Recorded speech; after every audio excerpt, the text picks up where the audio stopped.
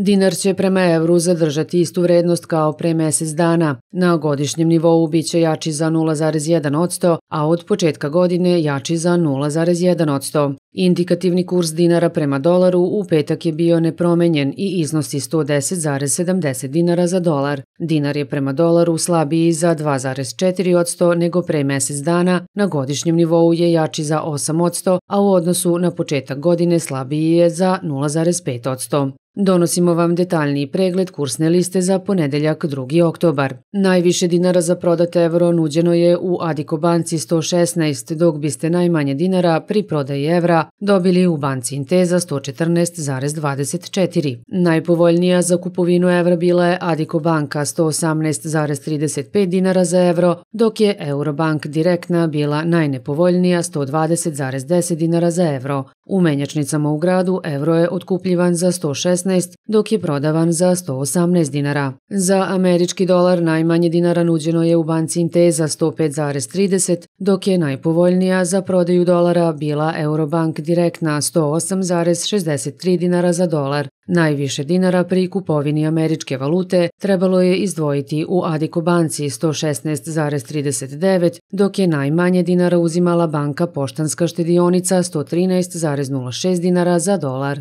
Za švajcarski franak danas je najmanje dinara nuđeno u Adiko banci 114,95, dok je najpovoljnija za prodaju bila Eurobank direktna 118,58 dinara za franak. Najviše dinara pri kupovini švajcarca trebalo je izdvojiti u banci Inteza 127,05, dok je banka Poštanska štedionica za 3 dinara i 63 pare bila povoljnija 123,42 dinara za franak.